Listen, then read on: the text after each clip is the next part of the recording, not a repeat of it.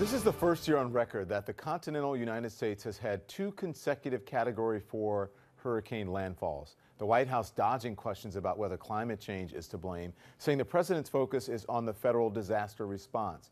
So let's discuss now Bob Inglis, a former Republican congressman from South Carolina, and Myron Ebell, the director of the Center for Energy and Environment with the Competitive Enterprise Institute. They both join us.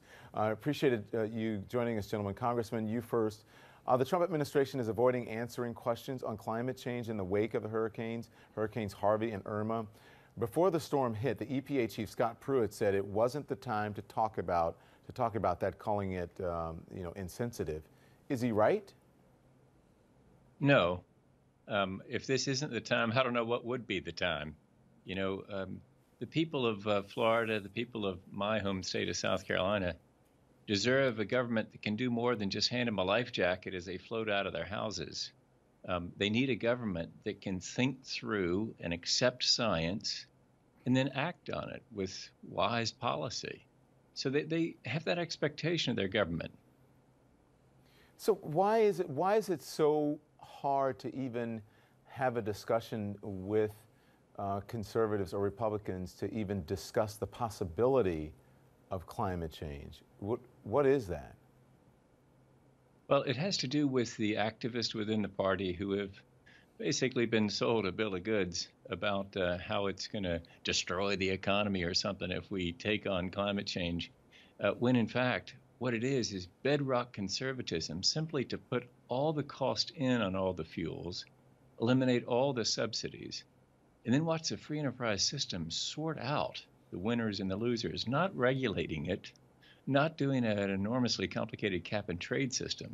It's just a simple attachment of the cost mm-hmm. associated with the burning of fossil fuels. Now, there are people who want to fight that because they want to extract the last little bit of economic rent out of burning fossil fuels. And there's some people with some real vested interest um, that uh, are funding campaigns of disinformation about climate science. Are and you so, saying that members well, of your own party don't believe in facts and science?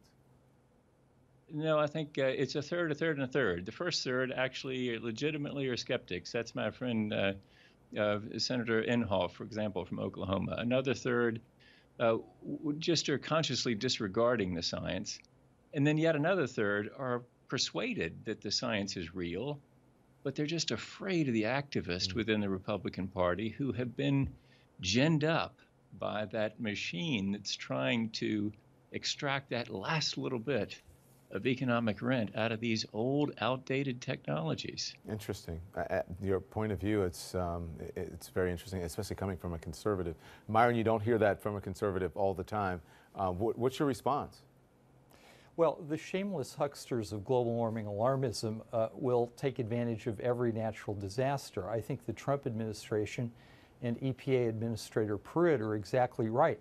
This is not the time for uh, idle chatter. It's the time for the government to take action to help uh, uh, restore order and, and get people back on their feet in Florida and Texas. The fact is that we are in a, uh, you, you, say, shouldn't we be talking about climate change now? We're in a period of, of relatively low activity for major hurricanes.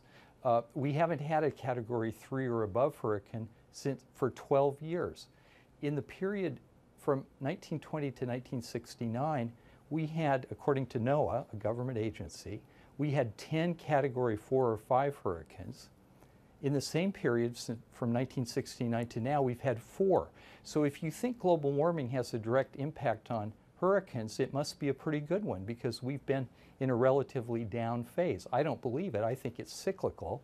But uh, look, these people always try to take advantage of disasters to say what we need is more government and uh, and you know just listen to us. If if if we had listened to Al Gore 12 years ago when he predicted more uh, uh, stronger hurricanes, what what what do we think of the long period between 2006 well, and 2017 let me just pose we didn't have Let me just pose a question to you, just a couple questions. So you don't believe in climate change? Oh, of course I believe in climate change. You believe change. in climate change. And so you don't think that now is a time to talk about it, especially when you have two category four storms? I think this is every time that we have a natural disaster, the people pushing the global warming agenda of higher energy prices and energy rationing uh, try to take advantage of it. And the Trump administration and Administrator Pruitt are exactly right to resist that.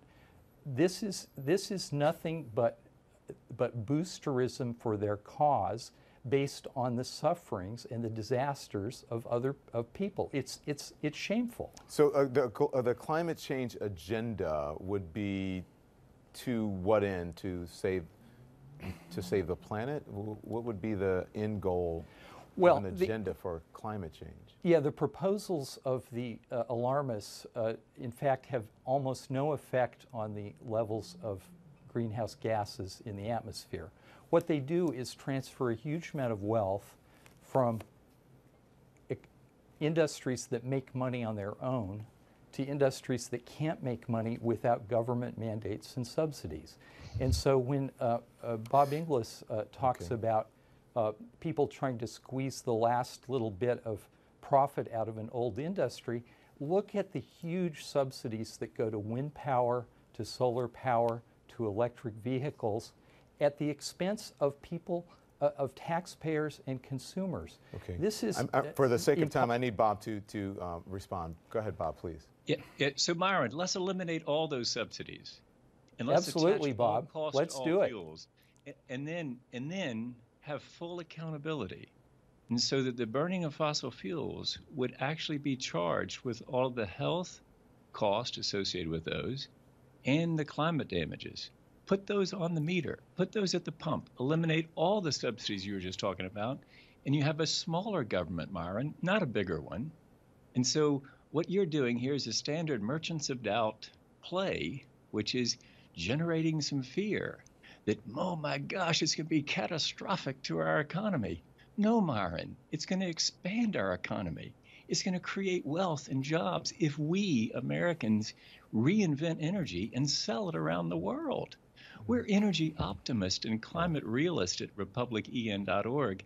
We're conservatives of the future. Yeah. What you're talking about is the past, Myron. You're talking about holding on to some mythical past that doesn't exist anymore and really never existed. But you're I've, in a strange position, Myron, of basically defending the buggy whip manufacturers when we at republicen.org are talking about the future, future fuels, and, and future I've wealth gotta, that we're going to generate out of this. But I, I, appreciate the conversation, and we'll have you gentlemen back. Thank you so much. Uh, I appreciate you. it. Thank you. Good to be.